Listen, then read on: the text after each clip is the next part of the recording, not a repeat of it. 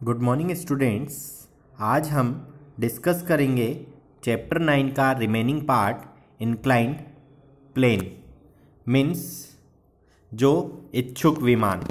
कहने का मतलब है कि जो ढलान वाली जो स्पेसेस होती है या स्लोपिंग जो सरफेस होती है, उसके बारे में। An inclined plane is a simple sloping surface in which one end is higher than the other means एक झुका हुआ विमान, एक साधारण ढलान वाली सतह होती है, जिसमें एक छोर दूसरे से अधिक होता है या हायर होता है। कहने का मतलब एक जो उसका एंड होता है या एक जो सिरा होता है, वो ऊपरी तरफ़ उठा हुआ रहता है और दूसरा जो सिरा होता है, वो निचला होता है। A wooden plank at an inclined flyovers hospital ramps are all inclined planes, यानी एक झुकाव पर एक लकड़ी का तख्ता, फ्लाईओवर, अस्पताल के रैंप सभी झुकाव वाले विमान होते हैं या सभी इंक्लाइंड प्लेन्स में होते हैं। Stairs and ladders are also inclined planes cut into steps. यानी जो सीढ़ियाँ होती है या जो सीढ़ी होती है, उसका झुकाव भी एक इंक्लाइंड प्लेन में होता है बट वो अलग अलग स्टेप्स में होती है या उनका जो कटिंग होती है, वो अलग अलग स्टेप्स में पाई जाती है। An inclined plane reduces the force you have to use to lift something but the distance that has to be covered increases कहने का मतलब है, एक झुका हुआ विमान उस बल को कम कर देता है, जिसका उपयोग आपको कुछ उठाने के लिए करना पड़ता है।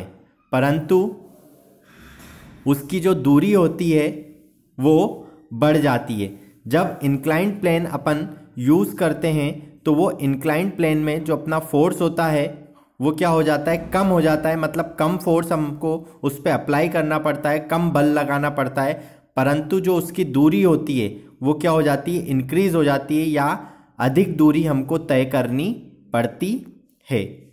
The winding roads on hills are also inclined planes means जो पहाड़ियों पर घुमावदार सड़कें होती है, वो भी झुकाव वाले विमान जो होते हैं, उनके अंतर्गत आती है या इंक्लाइंड प्लेन्स में आती है।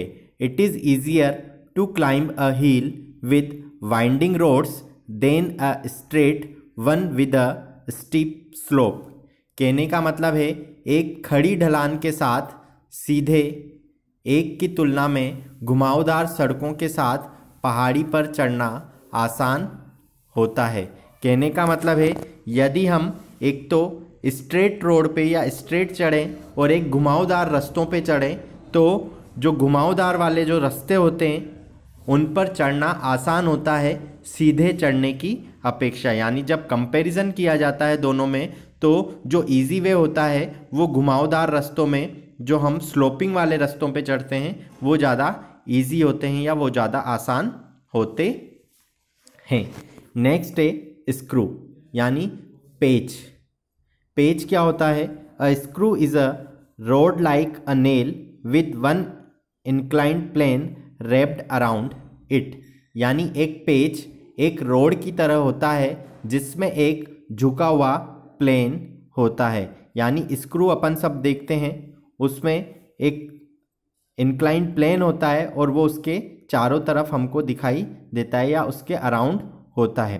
The screw has cut spiral threads on its surface that hold things more firmly with a stronger grip and throw a longer distance कहने का मतलब है जो पेच होता है उसमें सर्पिलेट धागे अपनी सतह पर काट दिए जाते हैं यानी उनमें कुछ चूड़ियाँ होती है जो उन चीज़ों को अच्छी तरह से पकड़कर रखती है यानी और एक लंबी दूरी उस ग्रिप में वो तय करता है और अच्छी तरह से, मजबूती से उस चीज़ को वो पकड़कर रखता है उस स्पाइरल थ्रेड्स की वजह से। या जो सर्पिलाकार उसकी आकृति होती है, उसकी वजह से वो किसी भी वस्तु को या किसी भी चीज़ को अच्छी तरह से लंबे समय तक पकड़कर रखता है। It is difficult to pull out a screw because of these threads कहने का मतलब क्या है? इन थ्रेड्स के कारण स्क्रू को खींचना मुश्किल हो जाता है। यानी कहने का मतलब है, ये जो धागे होते हैं या ये जो स्क्रू होते हैं, इनको जब हम या जो स्क्रू होता है वो पकड़ के रखता है तो उसको आसानी से हम उस वस्तु में से निकाल नहीं सकते यानी उसको आसानी से हम खींच नहीं सकते नेक्स्ट है screws are seen in revolving chairs struts lids of jam bottles etcetera यानी ये जो स्क्रू होते हैं, इनको हम देख सकते हैं किन किन चीज़ों में।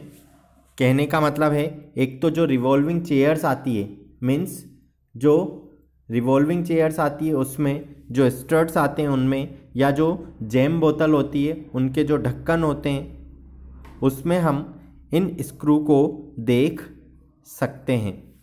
धन्यवाद।